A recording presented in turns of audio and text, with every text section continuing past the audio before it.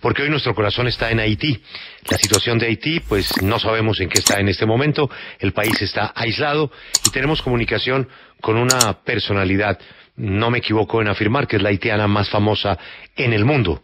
Eh, ella es abogada, su madre fue una activista política muy reconocida, su madre fue asesinada cuando tenía ella 10 años en Puerto Príncipe y su madre era muy crítica de un presidente muy controvertido, eh, Jean Bertrand Aristide.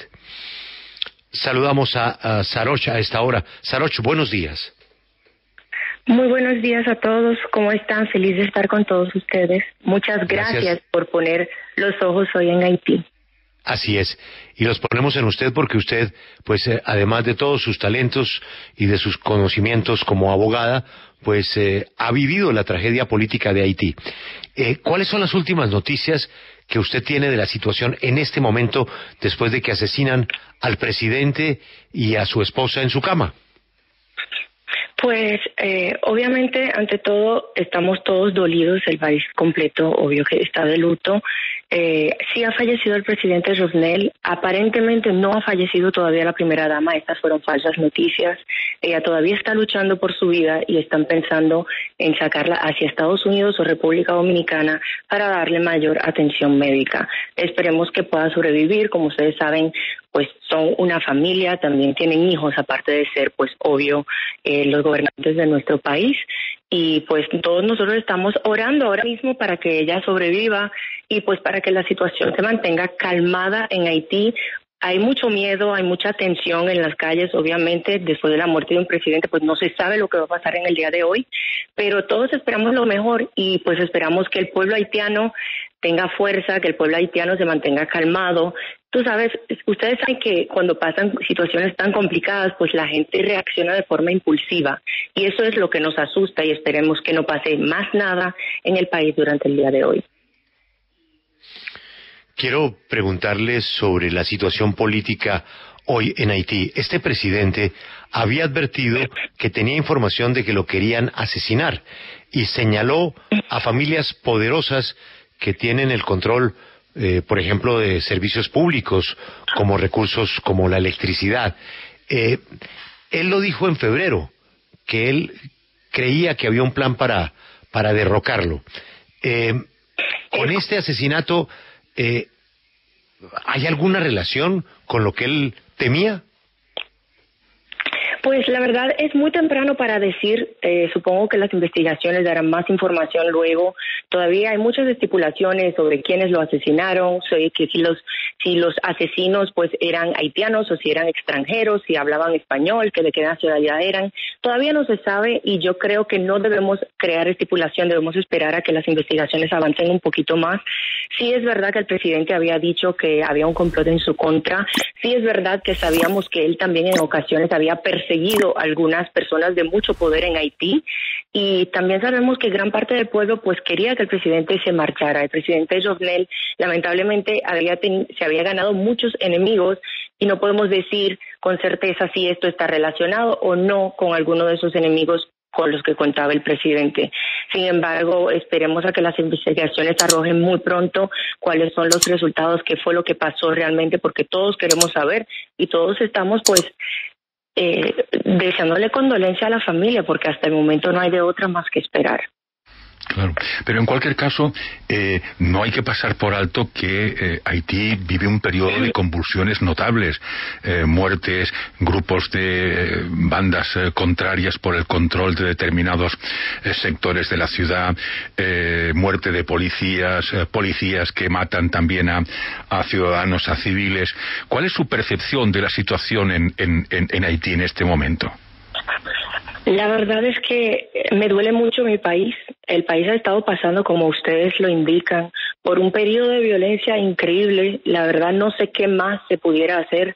Espero que pare la violencia. Llevamos ya desde principios del año 2020, los secuestros han aumentado tres veces más. Hay, las gangas han salido a la calle, están matando gente por matar. No tiene sentido lo que está pasando en el país. Hace tiempo que estamos observando la situación, todos estamos asustados. Nosotros mismos, los haitianos, estamos asustados. Hace muchos años que no veíamos y no sentíamos tanto terror. La situación en Haití se ha salido de las manos, obviamente, y pues la solución inmediata no la conocemos. Lo que esperamos es que podamos encontrarla y podamos salir de esto, porque realmente el país no creo que pueda seguir aguantando esta situación. ¿Cuál cree usted que va a ser la reacción de la calle frente a este asesinato? Ese es, ese es algo que yo temo. Yo entiendo que va a ser una situación obviamente dividida. Creo que pueden, las gangas en se han vuelto muy poderosas, han tomado las calles en el último año, ha sido algo que ha salido en todas las noticias y todo el mundo pues ha estado enterado de ello. Y yo temo que ellos aprovechen este momento en el que el país está sufriendo, en el que hay tanta, bueno, pues todos estamos prestando atención a la muerte del presidente para hacer de las suyas, para salir a hacer, tal vez a saquear negocios, a robar, a hacer cosas que son indebidas. Es algo que a mí obviamente me preocupa, es algo que pienso que pudiera pasar y que estoy deseando que no pase y que hago un llamado al pueblo haitiano para que se queden tranquilos en sus hogares, para que piensen y para que entiendan que la violencia nunca, nunca va a ser un medio de solución. Saroch, a esta hora en Haití, ¿quién está al mando? Porque por lo que entendemos a la fecha hoy en Haití hay dos primer ministros. Está Claude Joseph por un lado y por el otro lado está el doctor Ariel Henry. Así es, como lo confirman, hace tan, tan solo tres meses que el eh, doctor Claude Joseph eh, fue declarado primer ministro. Sin embargo, tengo entendido que él sería el que quedaría en cargo como primer ministro y él tendrá que anunciar, bueno, o pronunciarse luego para decir cuál va a ser el próximo pago, el próximo paso. No sabemos si va simplemente él como primer ministro a organizar las elecciones o si va a tener que elegir un presidente provisional y luego hacer las elecciones. Esa es una noticia que obviamente al pasar del día esperamos que escuchar nuevamente eh, el primer ministro hablar y que se, que se pronuncie sobre el tema y nos diga qué es lo que va a pasar. Saroch, se habla mucho de la oligarquía haitiana, pero nosotros no tenemos ni idea quién es la oligarquía haitiana. En, usted pregunta en en un país como la República Dominicana, que usted conoce muy bien, y usted sabe los nombres de quiénes son las cinco familias más ricas, o en Colombia, o en Panamá, o en Ecuador. En Haití, ¿cuáles son las familias más ricas y en qué negocios están? Pues como pronuncias, sí, es correcto. En Haití sí hay muchas, bueno, igual que República Dominicana, varias familias que tienen negocios muy grandes, como el negocio del acero, de la familia Bidjo, el negocio de electricidad, la familia Vogue, el negocio de transporte, uniformes y otras cosas de la familia Acra.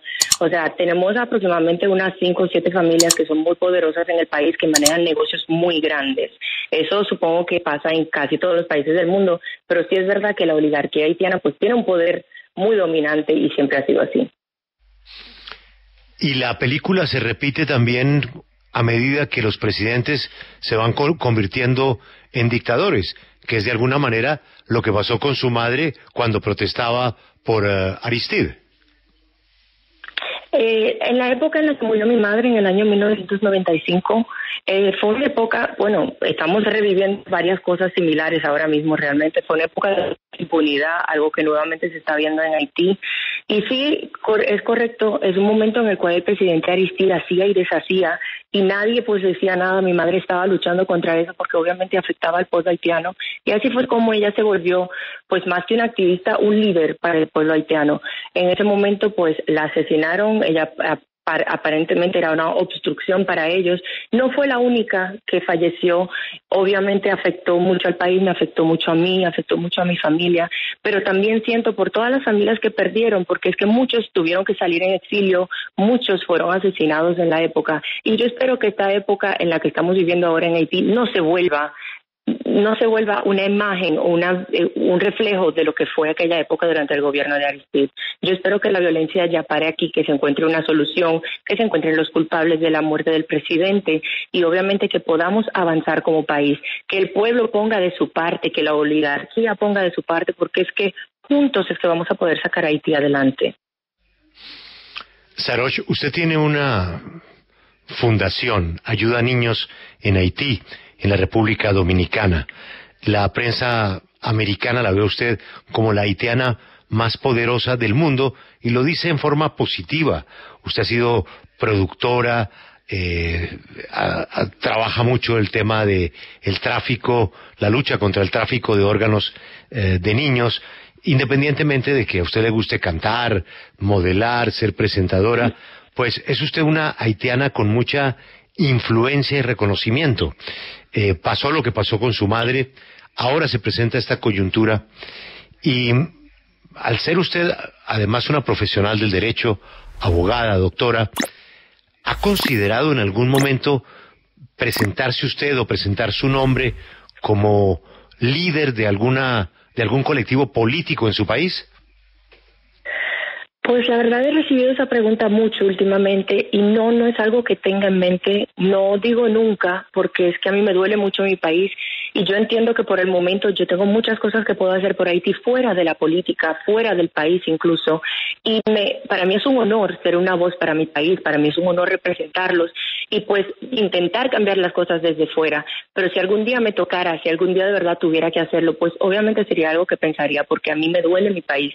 Yo Haití lo llevo en la sangre, en el corazón, en el alma, probablemente por lo que le pasó a mi madre, probablemente por la, el patriotismo que me inculcó mi padre, pero yo nunca he podido desatarme de mi tierra y sé que nunca lo voy a hacer. Saroch, muchas gracias por atendernos y deseamos que muy pronto pues haya una luz de esperanza en su país. Ha sido muy amable. Muchísimas gracias a todos ustedes. Sigan orando por Haití. Muchísimas gracias por sus lindos y positivos pensamientos. Le envío bendiciones a todos y esperamos que todas las cosas sigan en calma en Haití y que luego tengamos más noticias. Lindo día a todos y que hablemos de Maguoso, que nos gustó muchísimo el video, pero será, será en otro momento. Muchísimas gracias. Así será. En otro momento, hoy no es día para eso, pero en otro momento hablaremos de mi música. Bendiciones a todos y muchas gracias por el espacio. Usted